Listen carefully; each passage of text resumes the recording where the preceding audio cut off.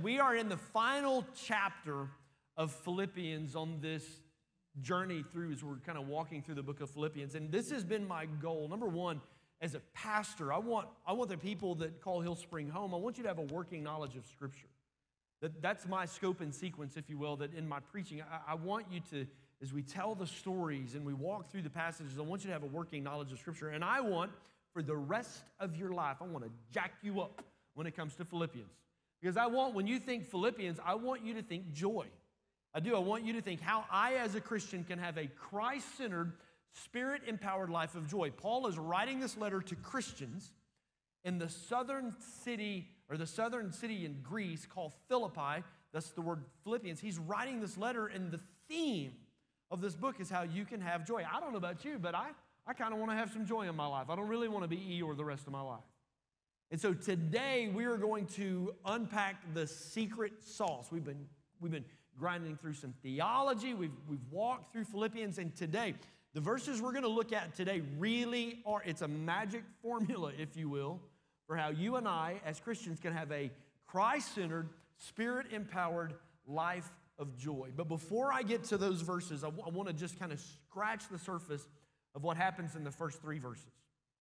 I'm not, I'm not going to put them on the screen. You can go back and read this later. But he begins this part of this letter by pleading. And I'm going to plead with you. He's pleading with two women in the church at Philippi to stop the disruption, stop the infighting, stop the division. Like your disagreement between, like the tone is, you're damaging the image of the church. You're damaging the work that God is doing there. And it just, that division and fighting and always have to be right and, and we can't get along, that takes a toll. There is always a price to being right. You can be right or you can be happy, but rarely can you be both. And Paul asked the church leaders and he asked the friends to get involved. Listen, there is a power when you and I, as followers of Christ, learn the, just the power and the anointing that comes when we will walk in unity. And, and unity is not, oh, well, you just always get your way. And I, no, no, no, no, no. Unity is knowing how to agree, but how to disagree correctly. I can disagree with you, but we can still walk in unity. And, and, Christians, church, today, if more than ever, we need to get that because division and disunity is celebrated and it's pushed in our world today. And the, God is calling the church to be different. Amen, everybody? And so I plead with you, I beg with you, for the sake of your marriage, for the sake of raising your children, for the sake of your family, for your job, for the organizations you're involved with, even for the church, for the gospel. Learn how to walk in the power of the. We can disagree, that's okay, but learning how to do that in unity. And then Paul gives the secret sauce or sauce, as my kids would say, the secret sauce, okay? And when you think Philippians, I want you to think joy, how you can live a Christ centered, spirit empowered life of joy. And he really does today, he really does make it very practical and how to do that. Philippians 4, verse 4 says, Always be full of joy in the Lord. When I was a kid, growing up in church, went to kids' church. You know, you got big church and little church. I went to little church, right? Rejoice in the Lord always, and again I say. There you go. Some of y'all learned that song too right? That's, that's this verse. Always be full of joy in the Lord. I'm going to say it again. Rejoice. Not just joyce, but rejoice. Do it again, all right? So have joy in the Lord, not joy in stuff. Stuff breaks, stuff wears out, stuff loses its shiny, stuff gets old, stuff gets boring. Stuff becomes outdated. And Paul says, listen, find joy in the Lord, not joy in people. Because people will hurt you, people will let you down. Like if I buy something thinking it's going to make me happy, if I buy something thinking it's going to give me joy, that puts way too much pressure on that thing. And that's where buyer's remorse comes in, right? I date a person, if I marry a person thinking, oh, once I'm married to them, then I will be happy, it puts way too much pressure on that relationship. It puts way too much pressure on that person. Now you feel like you're walking on eggshells all the time. Listen, and, and the people have been around me for a long time, the young people that are single or, or whatever stage of life you're in, can probably recite this back to me. And I'm, I'm just going to give it to you real quick. All my single people, this is for you. You need someone who loves God more than they love you. Just do. Because there's going to be days that someone don't love you. They don't even like you today. All right? But if they love God, they will do the right things in those rough moments. Okay? So you need someone, you're looking for someone, they need to love God more than they love you. Not just love God so they can date you, not just start going to church because that's what it's going to take for you to like. No, no, no. They need to love God more than they love you. And then secondly, you need someone who was happy long before you ever came along. Because Jerry Maguire sold us a lie. You complete me. All right? No, no, no, no. No. God completes me. Miss Jerry compliments me. I mean, she makes me look good. You know what I'm saying? Right? You, you need somebody that was happy with who they were before. I, like, if I'm dependent upon you to make me happy, that puts way too much pressure on the relationship and it becomes suffocating. The only person that can handle that type of pressure is Jesus. The only thing that can handle that type of pressure is a relationship with your Creator. Amen, everybody? So Paul says, rejoice in the Lord, not in stuff, not in people, but find your joy in the Lord that is found in Christ. Then Paul gets really, really practical. Like if he would have written this in 2022, he would have probably put it in outline form. Like, number one, do this. Number two, do this. Number three, do that. But instead, he's writing a letter to Christians in Philippi. And I'll be honest with you, you don't need me to unpack this. Like, if you read Philippians 5 and 6, these four things just, they leap off the page. But it is a formula for how you and I can have joy in Christ. All right, so Philippians chapter 4, verse 5. Let everyone see that you are considerate in all you do. Here's the first principle others first. If you want to have a life of joy, you need to be in the habit of putting other people first. The New Living translates it considerate. Little verse study on this. There's, there's, a, there's several different ways that translations translate this idea or they translate this verse. Some of the translations say, Let everyone see your gentleness. Some translations say, Let everyone see your service. Uh, one translation says, let, every, let everyone see your moderation. But the word they're going after, the one considerate, it actually means fair, mild, and gentle. Here's the idea that is central to Christianity. It is central if you're going to be a follower of Christ. The idea is put others first. Put others first. Jesus called us to that. Lay down your life for a friend. Jesus said in Matthew 14 or 16 24, He said, This disciples, whoever wants to follow me, whoever wants to be my disciple, must deny themselves. Okay? Put others first. Self denial, humility, that is a central value to what it means to look like Christ, to become a Christian. Paul is saying to have a life of joy, you got to get past yourself and you've got to put others first. And here's the deal that doesn't make any sense if I'm pursuing happiness. I would think if I want to be happy, I need to be me, me, me. That's my favorite song, right? Me, me, me. If, if, I, if I'm really going to be happy, I got to be all about me and what I want. But all that does is feed selfish ambition. It feeds a self centered mindset. And I'm going to tell you something about to pop your bubble right here. That ain't how the world works. The world ain't all about me, me, me. The world ain't all about you, you, you. And here's what Paul is saying that humility will lead to a life of joy. If you come at life with a mindset of, of, of, of denying my own selfishness and my own preference and, and others first, it's crazy. But how God's principles work is it will lead to a life of joy. So the joy, the journey to joy starts with others first. Then, secondly, he says this in verse 5 let everyone see that you're considerate, you're gentle, Remember, the Lord is coming soon. So the second principle is being eternally focused. He emphasizes this by remember, keep your focus on eternity. There's a, there's a couple of, of reminders in that.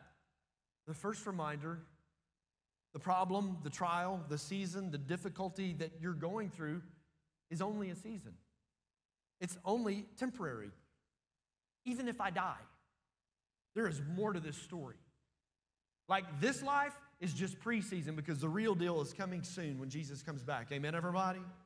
Even if the story doesn't go the way that I hope, even if this plays out bad, remember there is more to the story. No matter what happens in this life, Jesus is coming back. God's side is already won. There is a heaven that awaits you and I. There is paradise in the presence of God. This pain won't matter. Well, death won't matter. Loss won't matter. Defeat won't matter. Fear, none of that will matter. It is a reminder. He says, remember to focus on eternity. See things from God's perspective. Because here's what happened. When I focus on today, when I focus on the here and the now, it is so easy to get caught up in the ups and downs of life. If I have a good day, then everything's good. If I have a bad day, everything's bad. But that doesn't describe a life of joy. And Paul's saying you can have more of that.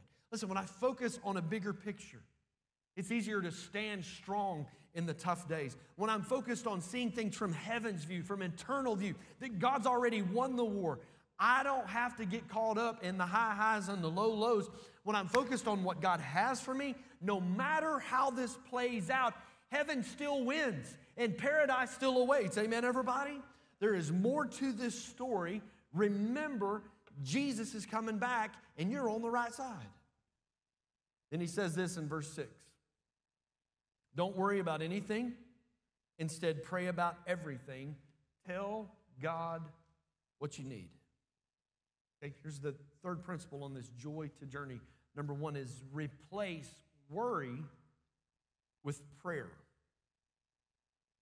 When you start to worry, when anxiety starts to creep up, when, when, when fear becomes strong, it, it should serve as a reminder that I need, to, I need to pray. God gave us the emotion of fear when He created you. When He created you, He put fear in this buffet of emotions that He gave you. He also gave you anger. But if both of those get unchecked, if both of those get out of control, they become destructive in our life. But you have to remember, God gave us the emotion of fear. He put that in this whole buffet of emotions that we experience in our life. Many times, the fear is, is a defense mechanism. If I'm afraid and fear creeps in, I want to get the heck out of Dodge. All right? So last weekend, Pastor Matt did a great job. Amen, everybody? He wasn't wearing a Hawaiian shirt, but that's all right. And um, our son Landon, he was, um, it was Mom's Day in Stillwater, so we had to go. We had a big lunch with his fraternity and stuff. And then that evening, him and his fraternity competed in what's called Spring Sing, where they come up with about five minutes of, of musical song. And Landon was one of them. And yes, he wore makeup and had little dots on his face. It's fine. It's one of my prouder moments.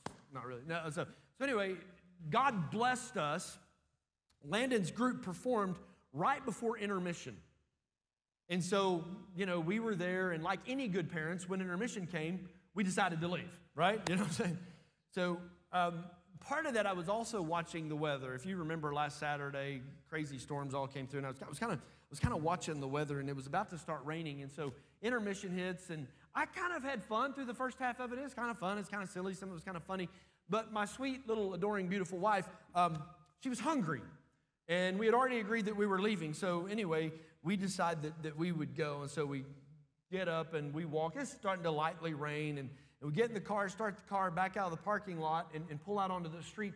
When my phone goes off like a Tasmanian bottle rocket, like tornado warning in your current location. That ever happens at 3 o'clock in the morning when you're asleep, you are all of a sudden really, really awake. All right? This wasn't no tornado watch. This meant there was rotation in my area. I'm calm, very calm and I'm driving, and it's just, by this time, it's just pouring down rain, and, and we're headed back to just, just trying to get out of town, away from the rotation, and we're, we're kind of headed to our hotel. And uh, I used to work at Y105 when I was in college over there, so I tuned into Y105, and sure enough, he comes on and he's talking about the weather and the rotation. and he's like, okay, well, radar's indicating there's rotation south and west of Stillwater. I'm south and west of Stillwater. This is not good, right? So I pull into a parking lot and I'm telling her, like, well, see if you can get, you know, Channel 8 or Channel 6 up on, on Facebook. And, and no, Tulsa stations didn't care about our lives. So anyway, I pull into a parking lot and I get Oklahoma City weather on Facebook and I'm kind of watching and, and all of this. And, and while I'm, I'm watching and trying to figure out where I'm at, where the rotation's at, tornado sirens start going off right where I'm at. So it's in that moment that this emotion of fear that God put in the buffet of our emotions, it kicks in. And my beautiful yet hungry, now anxious bride says, Get me out of here. All right. So I jumped on the road and I went north and east. I just getting, getting out of there. Listen, God gave us the fear of emotion when He created you. All right? That's situational. Sometimes that's a defense mechanism to get you away from tornadoes. All right? But some of you are going, whoa, whoa, whoa, whoa, whoa, whoa. The Bible says God's not given us a spirit of fear. You're right. So the emotion of fear is situational to get me away from tornadoes and bad things. You know what I'm saying? But the spirit of fear is when that is continual and I live under constant fear and worry and anxiety. 2 Timothy 1 7, God's not given us a spirit of, no, He gave me the emotion, but the spirit of fear is where I just live captive to anxiety, worry, and fear. I can have fear in situations, that's not always a bad thing. Might even save your life at times. But living in constant fear, that's a bad thing. That's from the enemy. That is not from God. That's what we would call a spirit of fear. Okay? Fear, it also helps me appreciate peace. It does. Like when you're in a tense situation, and like I was running away from tornadoes, but finally when we got, you know, 10 miles away and it stopped raining, and I know it's in the rearview mirror, you know, fear then helped me appreciate that moment. And so Paul is saying when you start to worry, when you start to have fear, you need to let that trigger something on the inside of you. Replace worry with fear. So when Landon was I probably five, six years old, and Kaylee was a baby. She was a year, maybe two years old. I just, I kept, I kept having bad dreams. And I kept wrestling with fear that something was going to happen to me. And that Jerry was going to be left with the two kids. And like I just, I just kept wrestling with this fear. Dr. Bill Berman, who's a longtime Christian family counselor in Tulsa, been a friend of mine for a long time, and I actually went to see him. And he explained this principle to me that God gave us fear. Not all fear is bad. And this is what he said listen, when you start to feel that fear, you need to let it push you to do the right things. When that fear that dream crops up that something's going to happen to you, you need to change your schedule. You need to slow down. You need to be intentional with your kids. You need to spend some one on one time with each kid. Let that fear serve as a reminder you need to change your behavior. Now, our younger kids won't remember this, but when, when we were kids, to, to remind ourselves to do things, we'd, we'd tie a ribbon, tie a string around your finger. At least they did it on TV. I don't know that I ever did it. I used to be laying in bed at night, and uh, I would think of something I need to do tomorrow, and so I would just typically grab a book right there by my nightstand and just throw it out in the middle of the floor, and Jerry would go, What was that? Uh, I just threw that book in the floor so that when I get up tomorrow, I'll remember that it's your birthday and I need to go get you something, right? You know what I'm saying? Like now, I just send myself a text message. I'll t- like just text myself, and so when I wake up in the morning, I'm like, oh, a text message. Oh, it's just me, right? You know what I'm saying? It's to tr- when that fear comes along, it needs to remind us to do the right things. Paul says you need to replace worry with prayer. And then he goes on to say, no matter too small. You can ask God anything. So here's, here's, the, here's the practical part of this. Like, Scripture is full of psychology. God created us, He knows how our mind and our heart and our spirit and our soul functions. So this is actually very psychological, practical. I'm using a bunch of words that don't even go together. Okay? We need to talk things out. When we're in stress or worry or, or fear or something's really heavy, you, you need to talk things out. You need to just say it out of your mouth. You need to get it out. I just tell you, there is no better person to talk about it with than the one person who can do something about it, and that's God, your creator? Instead of complaining and worrying to someone who has zero ability to fix your situation, let's just have a little talk with Jesus. Let's just tell him all about our trouble.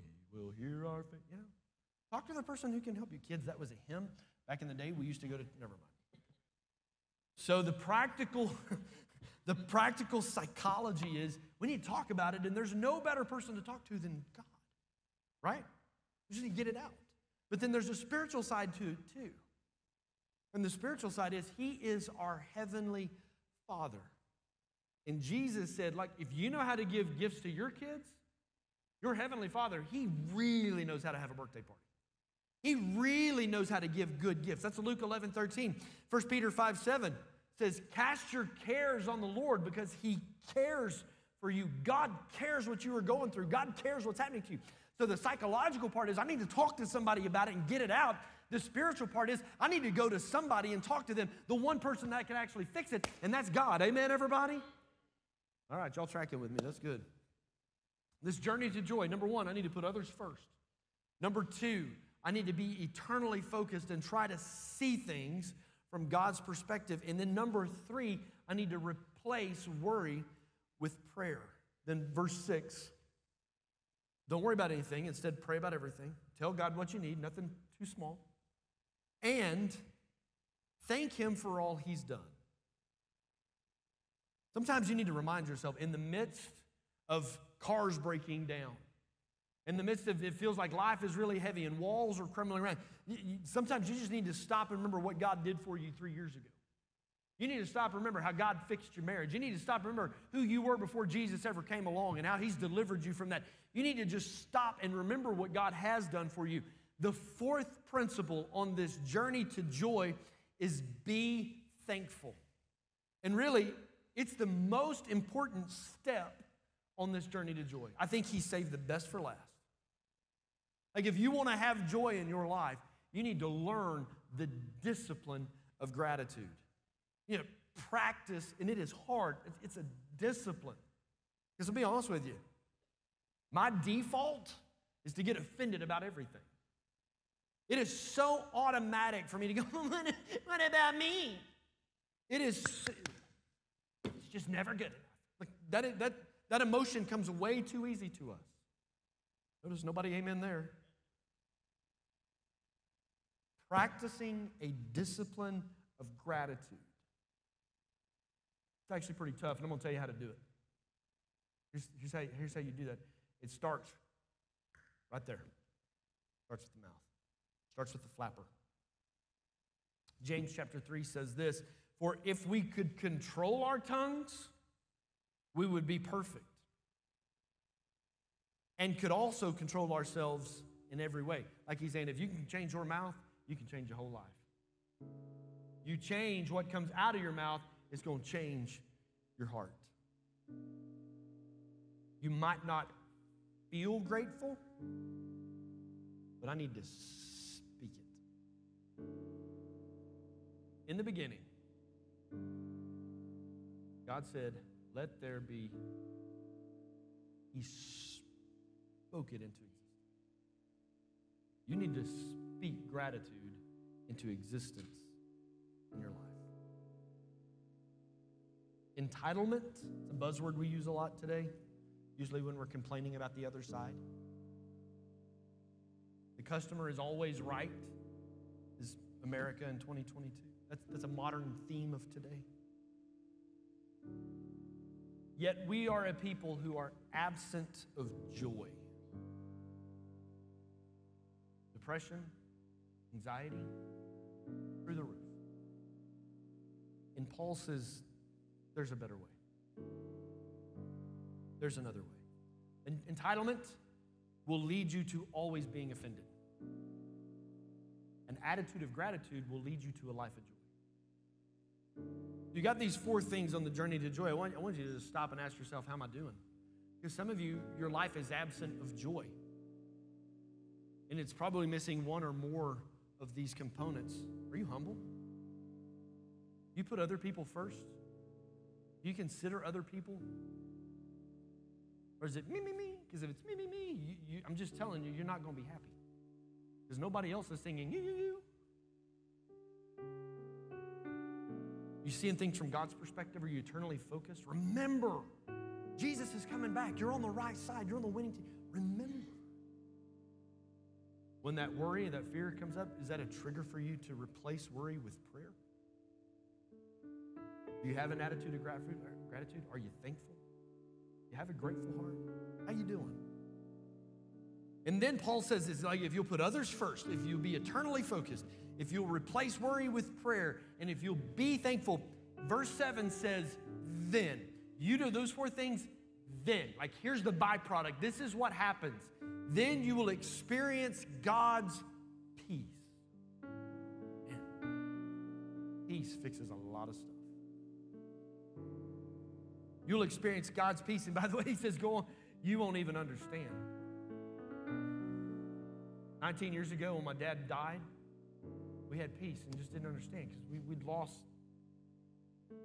someone we love. Somebody, like, it will exceed anything that you can understand. His peace will guard your heart, it'll guard your mind as you live in Christ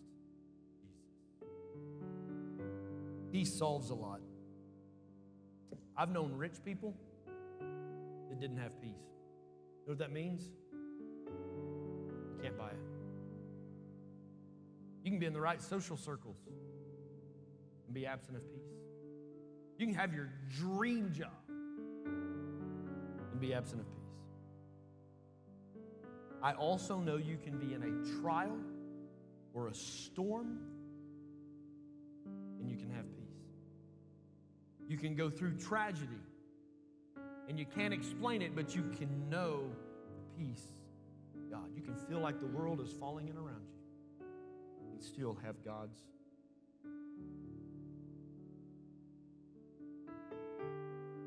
Here Paul gives the secret sauce. The journey to joy. How you doing? Others first, eternally focused. Replace worry with prayer. Be thankful. Let me pray for you. God, I just Lord, for those in the room today that, that their life may be absent of joy. Father, we need to evaluate these four things and, and are they are they in our life? Are they being put into practice? God, is my selfishness keeping me from joy? God, is my worry keeping me from, joy? Lord, I pray that just these principles that Paul writes and we unpack today, Father, would just explode with faith and come alive in our lives. God, that your peace would guard our heart and guard our mind as we live in Christ. In Jesus' name. And that last verse is so important. He says, as you live in Christ. See, that's fundamental to peace. You can't know God's peace if you don't know God. Hey, thanks for watching this sermon on our HillSpring YouTube channel. If you enjoyed it, take just a moment, hit that subscribe button. That way you won't miss a single thing. Secondly, if this message has impacted you and you want to help reach others, visit our website at hillspring.tv. Hit that Give Now button to help us carry the hope of Christ around the world. Thanks for joining us. We'll see you next time.